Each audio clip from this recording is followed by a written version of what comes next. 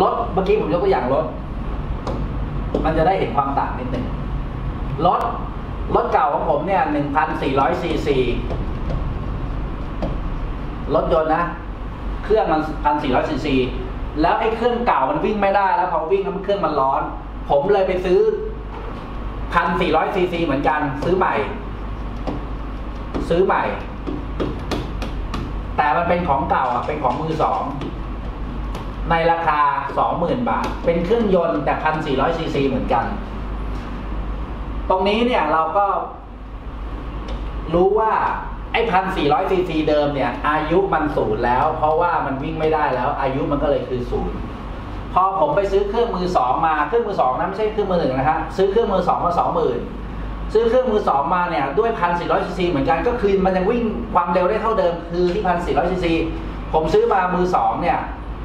เงินที่จ่ายไปเนี่ยมันทำให้อายุมันอายุการใช้งานเนี่ยมันเป็น 2 ปี สมมติเพิ่มขึ้นใช้ได้อีก 2 ปี ดังนั้นจากอายุที่มันเป็นอายุ 0 ปี มันกลายเป็นอายุ 2 ปี มันทำให้อายุมันยาวขึ้น ดังนั้นเงิน 20,000ที่จ่ายไปย่อมถือเป็นสินทรัพย์ แต่กรณีนี้มันจะต่างกันละ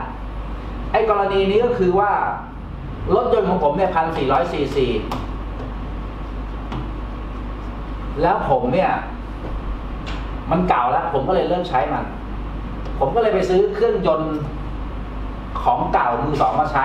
แต่ผมไปเปลี่ยนเป็นเครื่องยนต์2,000ซีซี2,000ซีซีเนี่ยมันทำให้รถวิ่งเร็วกว่าเดิม เร็วกว่าเดิม เมื่อรถวิ่งเร็วกว่าเดิมเนี่ยไอ้เงินที่ผมจ่ายไปสำหรับซื้อเครื่องใหม่ สมมุติว่าผมจ่ายเงินไปสำหรับห้าหมื่นบาท ห้าหมื่นบาทนั้นทำให้รถยนต์นั้นมีประสิทธิภาพสูงขึ้น จากเดิมที่วิ่งได้แค่ ไม่กี่กิโลเมตรต่อชั่วโมง แต่ว่าพอผมเปลี่ยนเป็น2,004มันวิ่งได้เร็วขึ้น ก็เข้าสู่ concept ที่บอกว่าประสิทธิภาพสูงขึ้นพอประสิทธิภาพสูงขึ้นไอ้ห้าหมื่นบาทนี้มันก็ต้องถือเป็นสินทรัพย์ด้วย เพราะมันทำให้ประสิทธิภาพสูงขึ้น แปลว่ามันไม่ว่าจะเข้าข้อใดข้อหนึ่ง เข้าแค่เพียงข้อเดียว เงินที่จ่ายไปย่อมถือเป็นสินทรัพย์นะครับ ถ้าเกิดเข้าตามข้อใดข้อหนึ่งเท่านั้น ถือเป็นสินทรัพย์เลย แต่ถ้าไม่ใช่พวกนี้มันก็คือเราถือว่าเป็นค่าซ่อมแซมไปเลย